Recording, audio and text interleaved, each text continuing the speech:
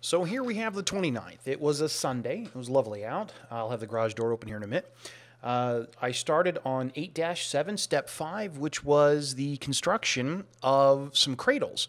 Uh, the instructions actually show you creating cradles that are rigid and for, conform basically directly to what your inspar ribs would look like. And I decided not to go that route. I actually went the route of a soft cradle. And you can see here I've got, you know, some two befores cut in half or one by ones over there on the other side and, and uh, strapping that everything just rests in. And it works really well. I went this route, and you'll see later, uh, because it allows me to kind of tilt the whole uh, assembly back and forth as I'm working it, uh, working with it. It's not as rigid, uh, which was incredibly useful.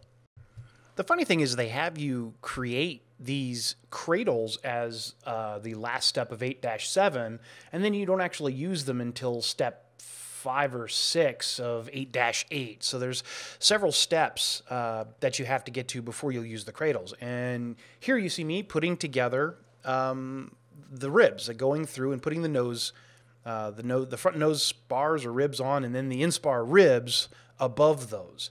Uh, and it just, you know, again, nothing's difficult. A lot of clecoing on bits and then match drilling all the parts and going from there.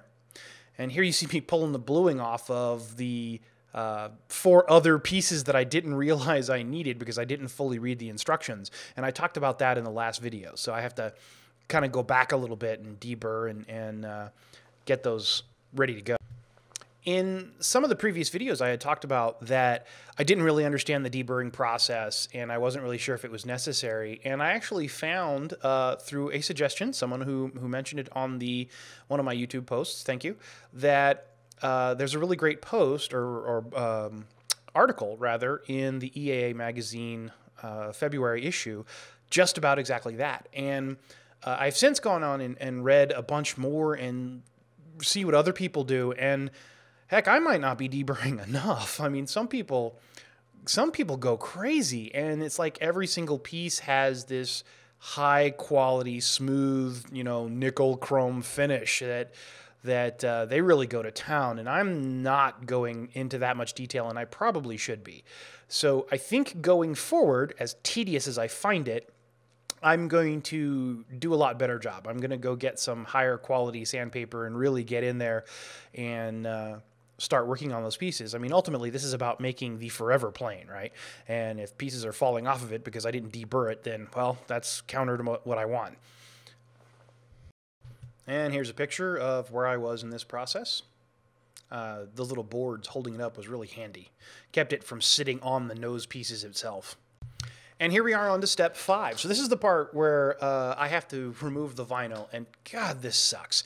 There's got to be a better way to remove this stuff. Uh, I've tried, you know, rolling it. I've tried gently, you know, pulling it one way, or you know, uh, using some other sneaky method of getting it off, and I just haven't been able to. Uh, I did here, I, I kind of cut down it, and I was able to pull off smaller pieces, and so that was a lot better. Uh, you can see that you know it took a lot less time, but still getting those things off is just dreadful. Uh, and now you're gonna see the cradles come into use. Yay! This was really the first time I had tried to use them, so I wasn't sure, and I was hoping it was going to work out, and it actually worked out really well. Uh, I, I, had to, I realized at that point exactly how everything was connected, and that I had put all those small clecos on the outside uh, holding in the sides of the inspar ribs, thinking I was being clever. That's not going to work if I have to slide it down into the skins, duh. So, yeah, I had to undo that. But, you know, then it was just a matter of taking each nose piece off of that uh, assembly and then clecoing them on. And you can see that here. And through the magic of editing, suddenly my garage door is open because it was a nice day. It was warming up. I was out there in the morning. It's a little cool. And then uh, as the day progressed, I eventually opened the garage. Lots of uh, lots of putting clecos onto the nose ribs, and I'll talk more about clecos in a minute. Uh, believe it or not, you probably didn't order enough. I know I didn't.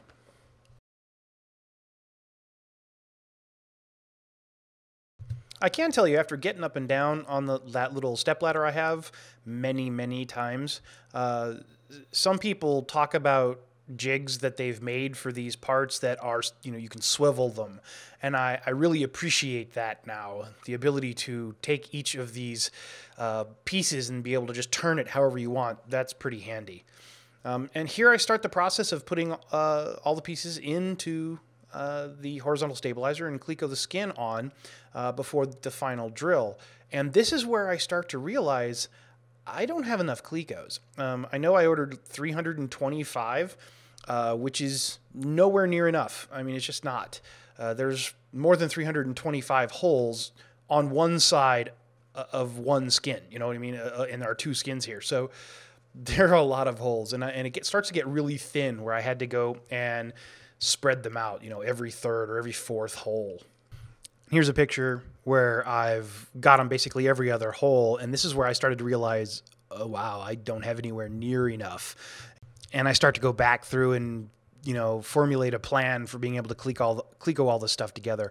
I almost advise buying like another 150 of them. So now I'm on to 8-9. This is me working with the little stringers and getting those uh, deburred and cleaned. And I've actually gone back and cleaned them even more because they were really rough. I had to cut them upstairs on my bandsaw. Um, but get those inserted into the skin, uh, or inside rather, underneath the skin. It's kind of clever how those go in there my initial impression was be, was that they were going to be just an incredible pain in the rear, and they actually aren't. Uh, in some ways, they make assembly uh, later on a lot easier eh, because some of the holes just kind of line up nicely. Uh, again, I, I, have to thank Van's. Uh, whatever effort they put into their matched drilling system uh, was 100% worth it. Thank you, Van's. Uh, it really rocks, and it's amazingly accurate, all things considered.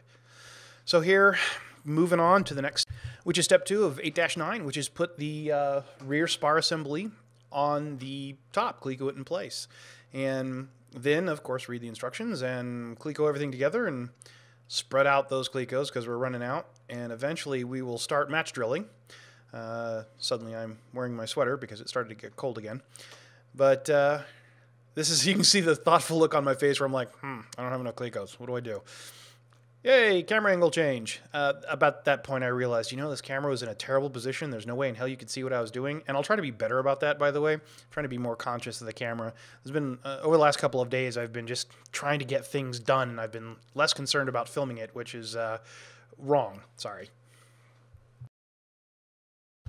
And for the rest of this video, which is like another three minutes, um, I'm drilling all the holes keep in mind this is one frame every second, I think is what I've got it set up here. And so it's quite a bit of time that it took me to do this.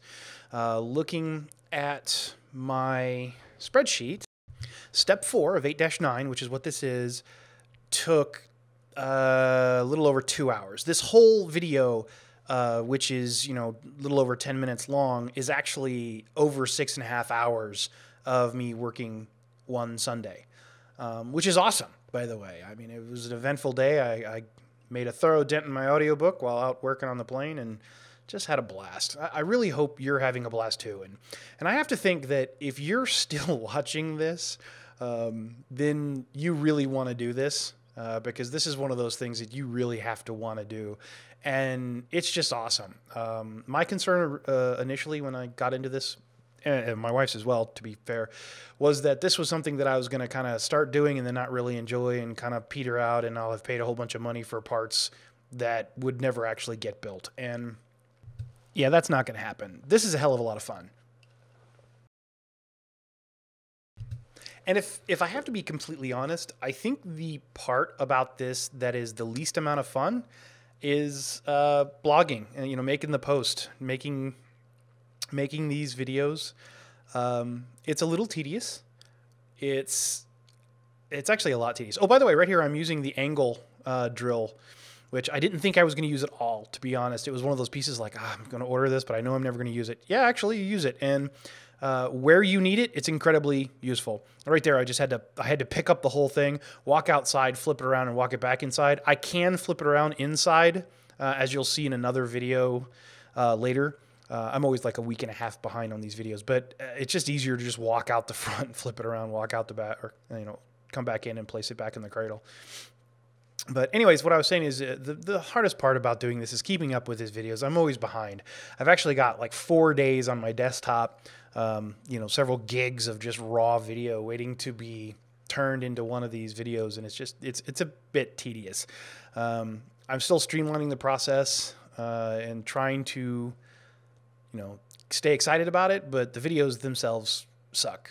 so any any positive comments where people are saying please keep the videos that actually inspires me to keep doing it. So those of you have said so, thank you. You're actually helping a great deal. But uh, there you go. Uh, this goes on for a few more minutes. The sun is now set, I believe, and it is you know on tonight. And yep, exciting. Anyways, guys, I'll talk at you later.